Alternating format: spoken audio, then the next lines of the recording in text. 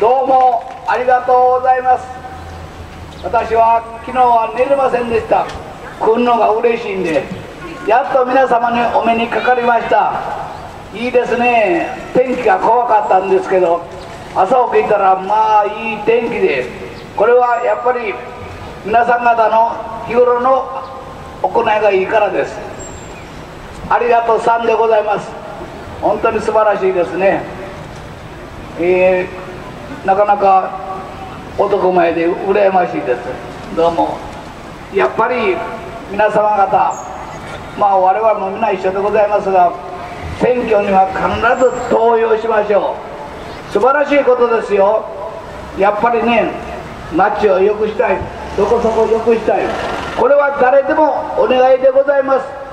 お願いを守ってもらおうと思うとやっぱり選挙に行って投票しましょう。これは間違いありません。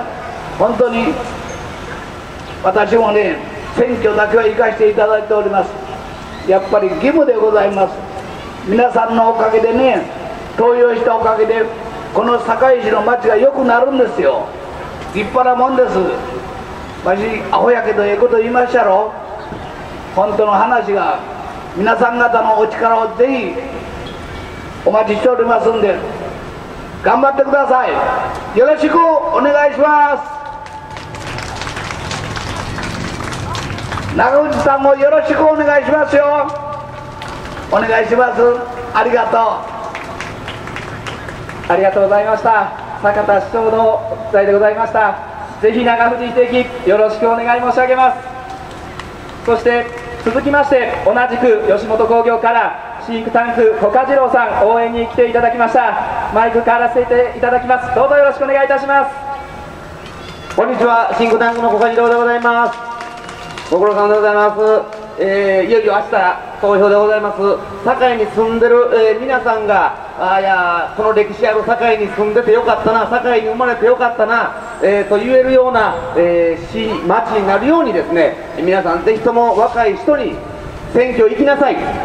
まあその上から言わなくても自分で考えてこの堺のためにどうなるか考えて選挙に行きましょうと、えー、1人ずつ1人でも増えるように、えー、皆様がですね、えー、力を合わせてこの堺を、えー、築いていっていただきたいと思います。この長藤さんが、え、公約されてますマニフェストね私も読ませていただいて、えー、3割給与カットそれから退職金なしその制度を作るというふうに身を削って、えー、頑張っていらっしゃいます。